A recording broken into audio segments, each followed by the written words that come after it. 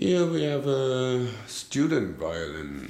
It's uh, presumably German or Czech made. It bears no label. The flaming is painted and the inlays as well.